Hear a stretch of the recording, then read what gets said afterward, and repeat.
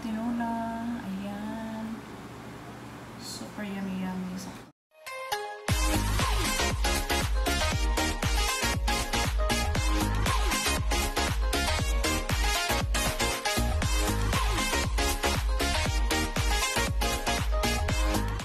Ito yung aking lulutuin today guys. May picture tayo dyan at saka ano, repolyo, chicken.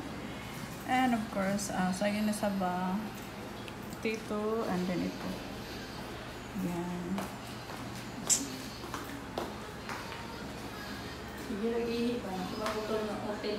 Okay guys, ilagay na natin yung ano. Kasi mainit na yung tubig. Sibuyas, ayan. Yung paminta. Ayan, mag-add ako ng dalawang chicken cubes guys. Kasi marami-rami yung lulutuin ko.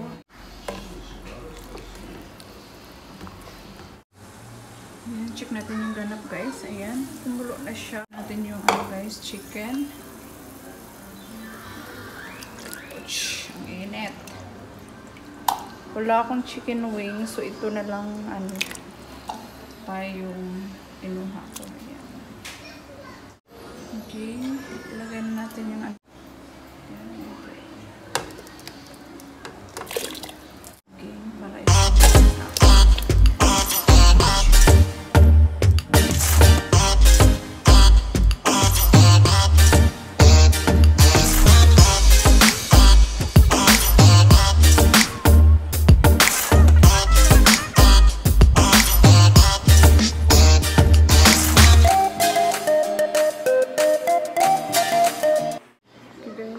Natin kung anong ganap sa niluto kong sabaw guys. So, ayan. Ouch! Ang init. Yan. And then, tansyahin ko na lang siya sa timpla mamaya. Sarap ano, humigop ng sabaw. Okay guys, ilagay na natin yung ating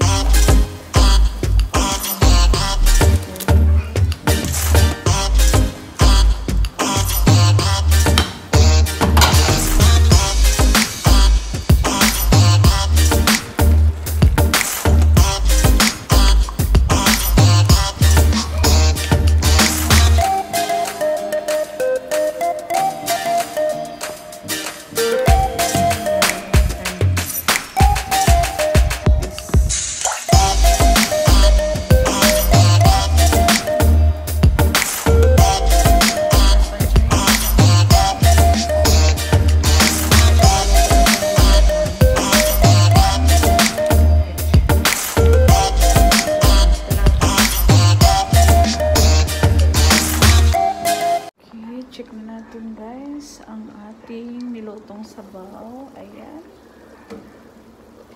And then, tikman na. Tikman-tikman natin.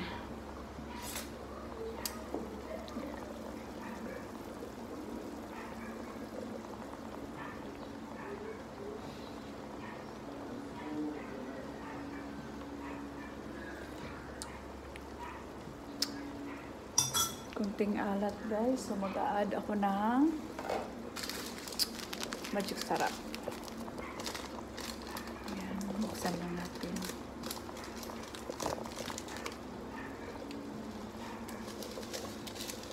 Busin natin kasi ano, mas gusto ni Mr. na medyo maalat-alat yung ating sabaw. Ayan. Ukay-ukayo na nato no, sa Bisaya pa. Pero luto-luto na yung kuan guys, pichay. Ayan, luto na jud siya in luto na gyud. Char. Humok na kaayo kumbaga. Ayan, ito yung aking tinulang sabaw na manok. Ayan, simpleng luto lang to siya guys. Ayan. So, kainan na. Maghukad na. Kaya para makakaon na si Mr. o si Karel. Say hi, Karel! Kagigising lang niya guys. Sige pag bilar-bilar. Late matulog. So ito na siya guys. Ilalagay ko lang siya dito. Ayan.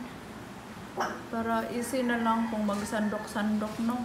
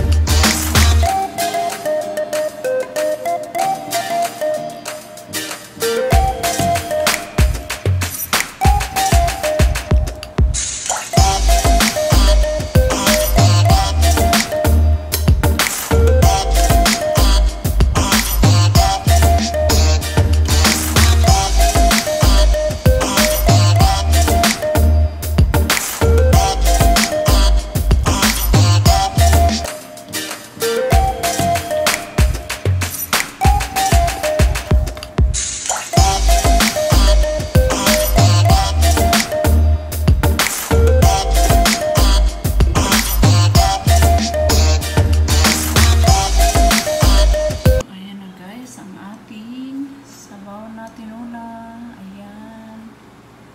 Super yummy yummy. Sakto talaga siya sa timpla. Ayan. Kain.